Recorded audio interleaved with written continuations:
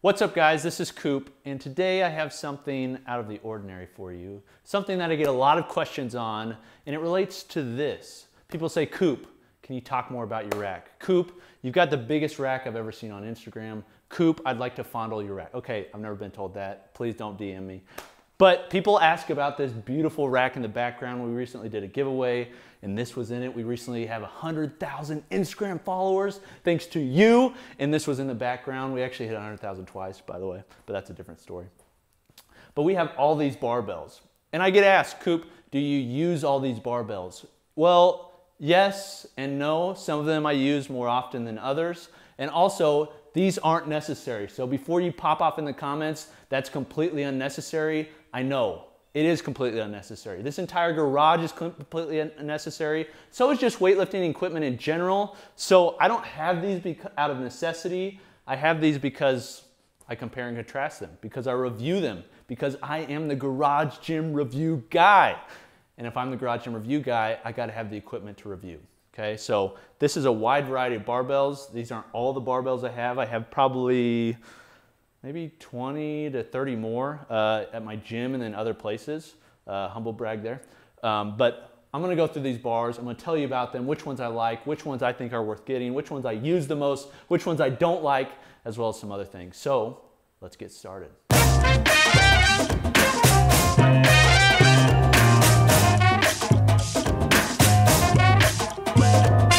I will start at the top.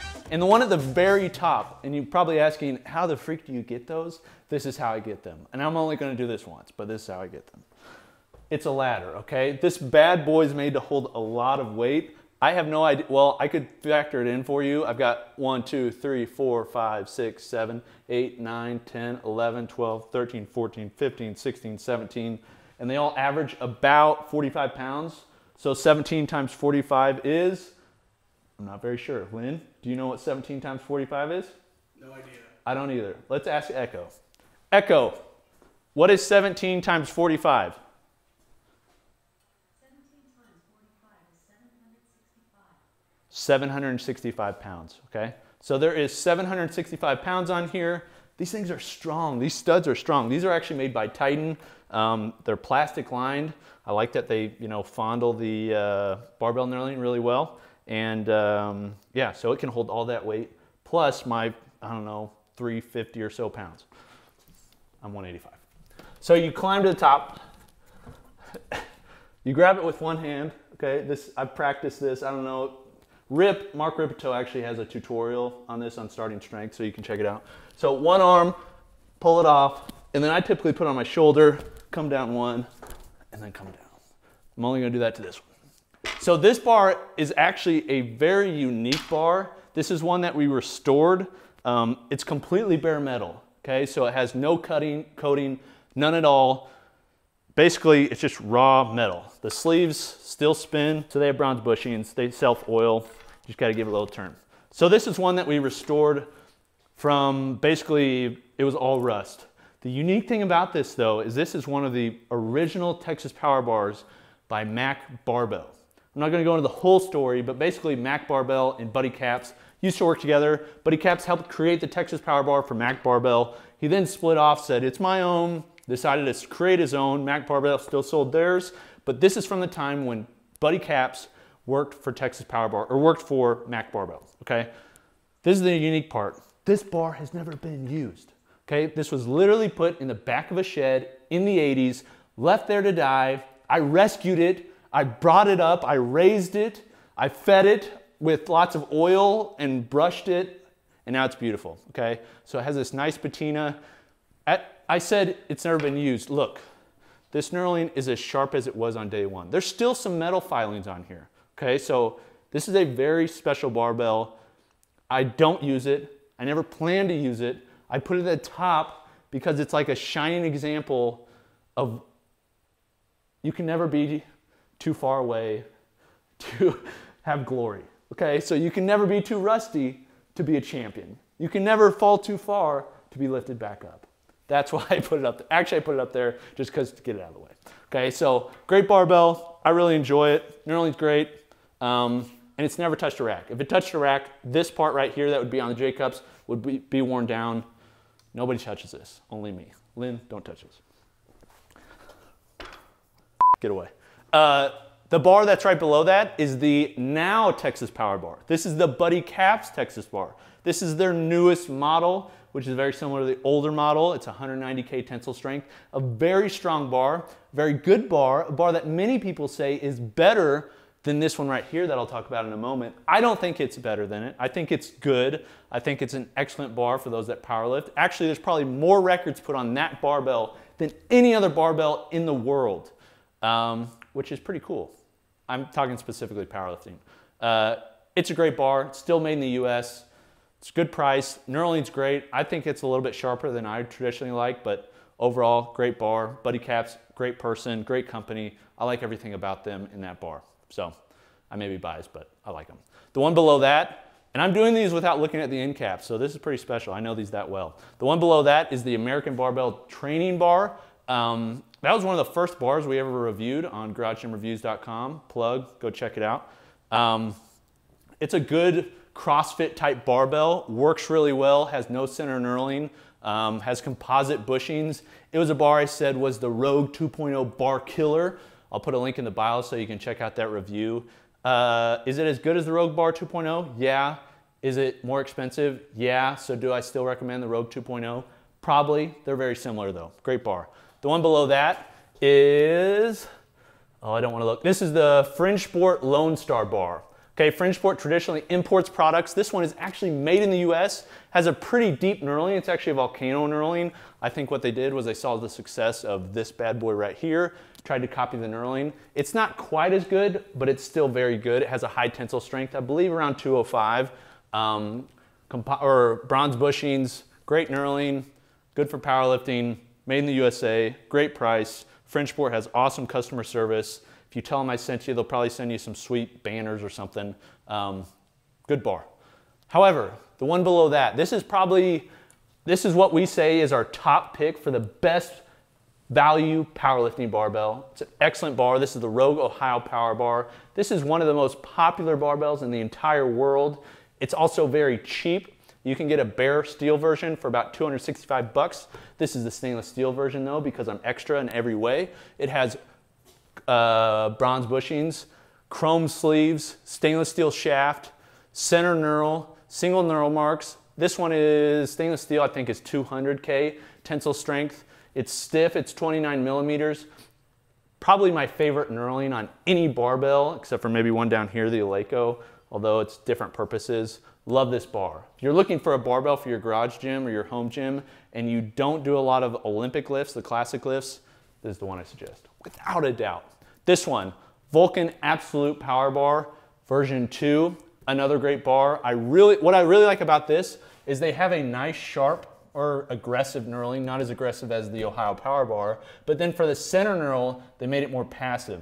I love that feature. I would like it if all the bars had a more passive center knurl. You don't need a cheese grater on your back for it to stick. You just need something that's light enough to stick. The Chan bar from Rogue is similar. Um, I love that feature. I like how they have the etching in the sleeves. Not a huge fan of the deep cuts on the sleeves, but I do like the etching. I like that, you know, it's just a good bar. It works well. I'm a fan of it. Next bar is the Vulcan Basic Bar. Um, another Vulcan bar. This one's similar to the American Barbell Bar. Uh, not much to say about it. It's just kind of a beater bar here. Rep Fitness Excalibur bar. I know they're updating this. It's a good bar. Not a great bar, a good bar. Then we got the Rogue Ohio bar. This is actually a custom one for Garage Gym Reviews. Do you have one of these? Didn't think so. I do. I'm the only one in the world with this bar that says Garage Gym Reviews that I know of. I like this bar. I custom made it when I was at Rogue. I went through their factory. I wasn't allowed to show you any of that, but I did show you me making this beautiful thing on their computers. It's blue. It's got red composite bushings. It's got chrome sleeves. The Ohio, the Ohio bar is one of the best general training bars. This is another one that never gets used. It's just here to look pretty. Below that, we have the, this is the Longhorn bar from Fringe Sport. This is the basically clone of the Duffalo bar, which is an awesome bar. Both of these bars are great. This is a cheaper version of this. Is it as good as this? I don't think so, but it's a much better value because it's cheaper. Knurling's great, Bend's great, very similar to the Duffalo bar. You can see that right here. It actually has the center, center knurl mark as well. I mean, they basically just copied it, okay, which uh, I could see how that would make you mad. However, at the same time, for the consumer, they're like, ah, I just want a good price. I get it. Then the Duffalo bar, big fan of everything Kabuki makes.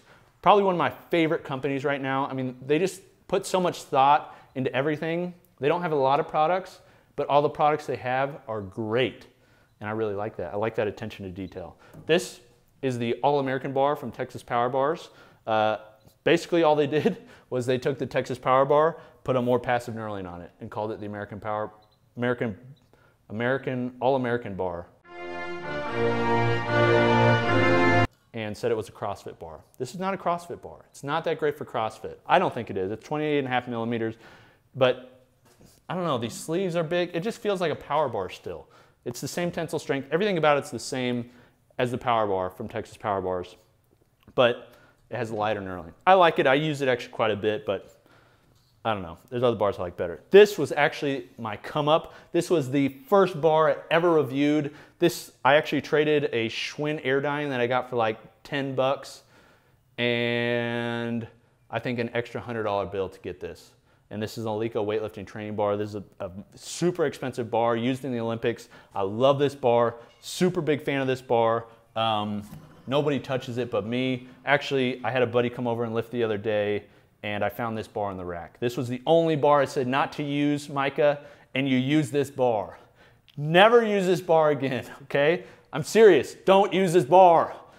If you're watching this, you say you're a subscriber. I don't know if you are. True friends would be.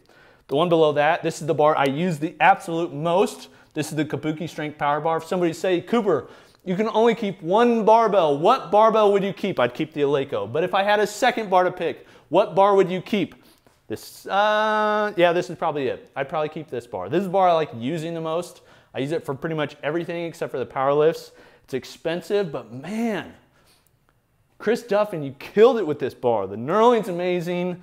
It's just everything about it I'm a big fan of. It may be like a placebo effect because it's more expensive and you spend more, so therefore you like it more. I recognize those things, but either way, I love this bar. The one below that, very exclusive bar here. This is the Eleiko collaboration with Rogue Fitness. You're thinking, Eleiko, Rogue Fitness, they're direct competitors. When did they ever collaborate? Listen, I think there was maybe 300 of these made. There was a time when Rogue Fitness was not very big. They were coming up. They had sold a ton of Eleiko bars. They used to sell a ton of Eleiko bars on their website. They've since phased them out. They now don't speak. They're competitors. They don't really like each other probably because Rogue took a lot of their market share. This bar is one that Rogue Fitness had exclusively made for Eleiko. It's the only black Eleiko bar ever made, and I got one. I traded a different bar for it. Uh, somebody on the forums basically said, Hey, I've got this bar. Would you like to trade for it? I said, Heck yeah, baby. It's not super beautiful. Uh, it's been used quite a bit, but I just like the history behind it. There's not a lot of them. Um, it's an Eleiko bar. It works really well. Knurling's great. Everything about it's awesome. Um, but I've never seen them for sale anywhere else since.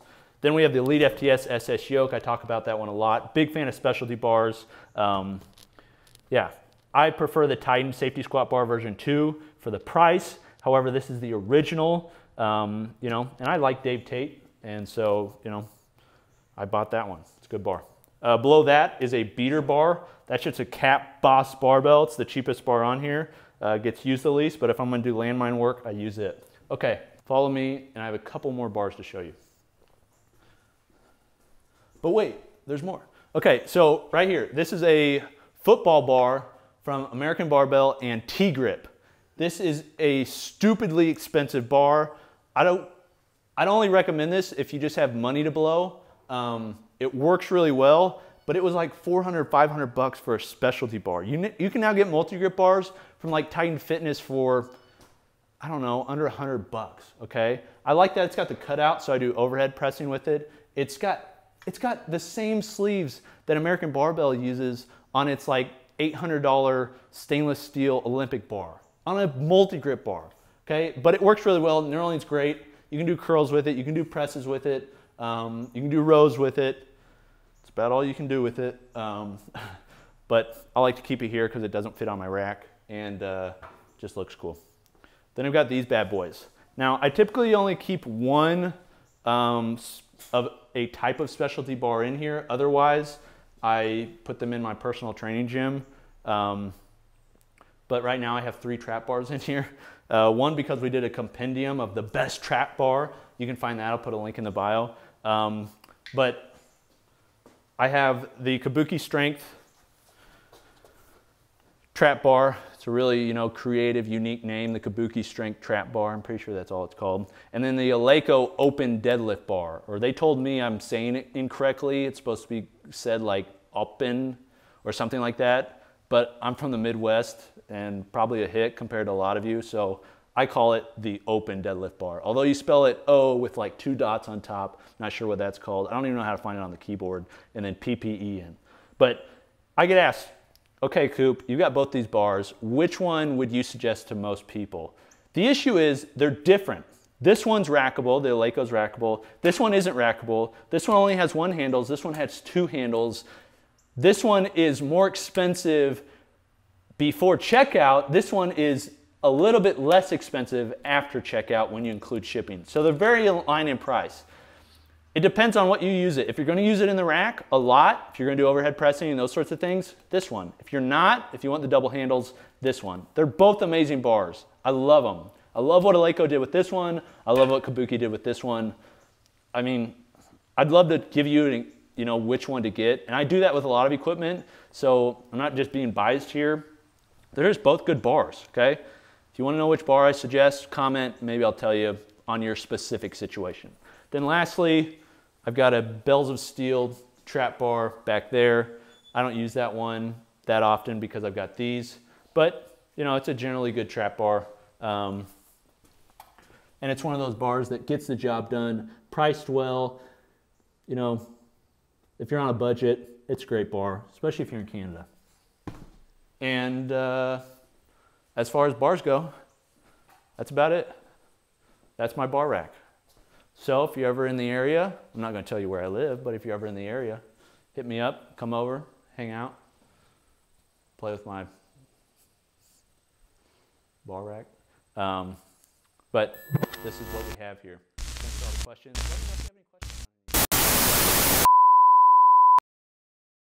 And we're back.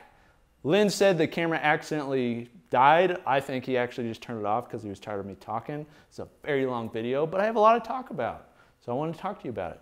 Um, but I was just getting ready to do the ending. I was just getting ready to say, make sure you subscribe, make sure you comment. We're going to all this trouble to redo it, put a new card in there, all that sort of thing, just to say goodbye. That's how much we care about you. So thanks for watching. See you next time. Peace.